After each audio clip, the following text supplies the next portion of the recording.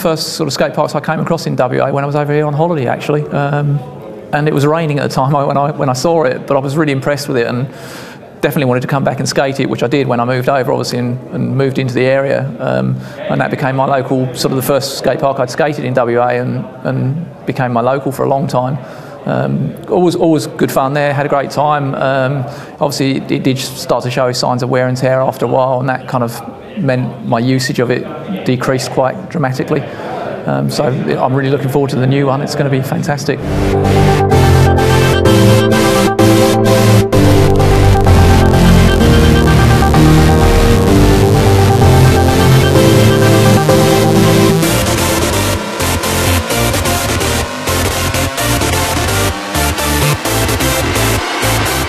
I'm a councillor with the City of Kwinana, and, and, as such, we have the officers present to us some ideas. And um, with the unfortunate demise of the old skate park and having to be removed, we're now going through this process of uh, consultation and fundraising to prepare a new and better facility for the community.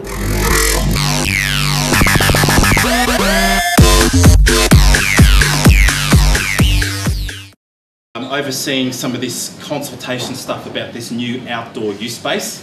In brackets, yes, it's a skate park, but it is also, it's more than that. It's a, it's a spot where you guys are going to be able to use as a hangout space, as a recreational space, as a hookup space, as a Wi-Fi space, possibly, and all these other things. You're here to give a bit of feedback and have a look at the first draft plan of what this space might look like. Part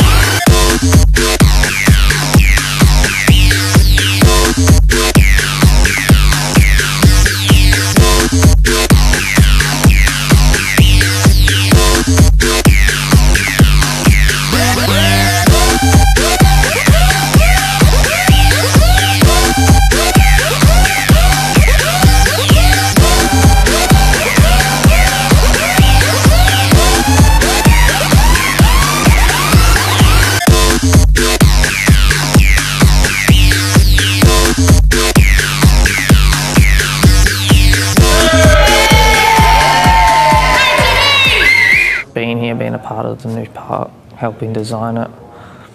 But yeah, I enjoy coming along where I can put my ideas in and my thoughts against, towards the new park. Like I've never had anything to do with anything like this before, and it's really cool.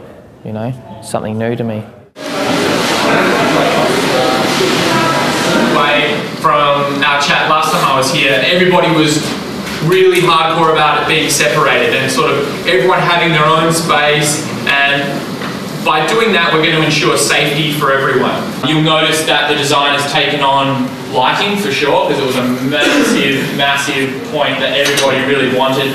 Floodlights, they wanted it push button activated, they wanted to be in control of when it was time for them to go home, essentially. Down here is Calista Oval, so this is where the oval is. The adventure playground is going to be going off in the distance up in that white space over there. Over on, over on this side is Ave. This space is sort of separated away, and it's, it's, it, the whole idea is about sort of circulating back and forth through this space.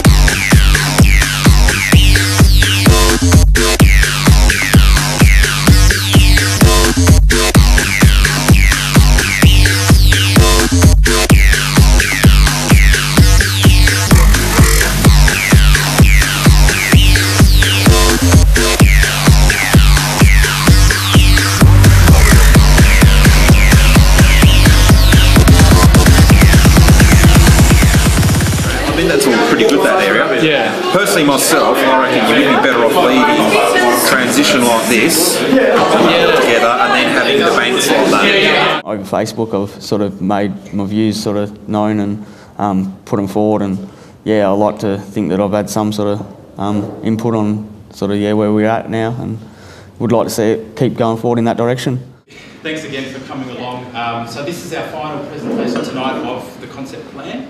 You can kind of see the street section there and the sort of combination of pieces that have um, ended up in there. The sort of off in the distance there, you can see how this pathway now connects across over to this space in here and make sure that everybody can access that space.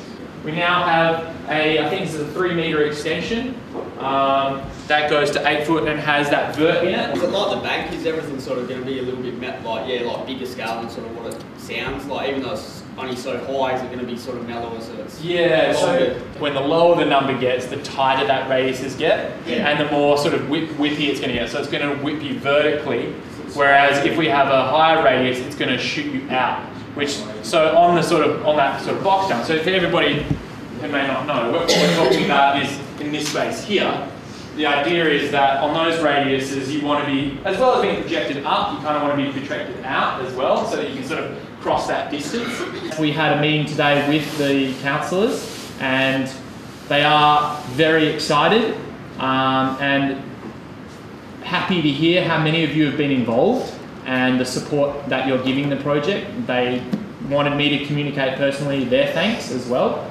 Um, and they're going to do everything in their power to sort of keep this project moving forward and to make sure that this gets delivered. I love the design. Um, it's got so many interesting facets, not knowing particularly uh, very much. In fact, I wanted to ask what a mini was tonight.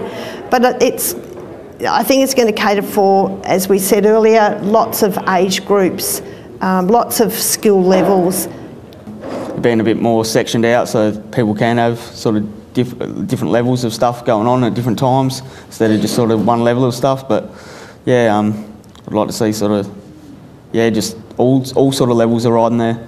Oh, I just love everything about it. It's got the, it's got some good street stuff there. I like, I like the, I like both street sections. I like the way it's been designed with the rails, the ledges and stuff, but it's still got that little bit of like vert or whatever, you know, that, that little bit of transition there. I like that. But I'm more of a vert skater myself. I like, I hit up halfies and bowls. That's my thing, and I prefer that. And the way that they're talking about doing the six halfie and then doing the eight on the side, that really excites me because you can go to the small, the six, and learn, and then you can move up to the eight once you get it really good on the six, and you know that bowl looks really good. Like that, that's going to be fun. I think the current design's brilliant. I think this is one of the best consultations I've actually been involved in. Um, just the willingness to listen and take on board the feedback from the various user groups because it's a, it's a real tricky thing to please everyone that, that wants to use a skate park. There's a lot of different elements that are involved and a lot of diverse groups. Um, but I think the separation of everything here is, is going to minimise uh, a lot of the dangerous elements that appear elsewhere. Um, I just think it caters for a wide age range of people, people like myself that are older and a bit more experienced. There's some great stuff for young kids in there. I think, I think done a great job on it.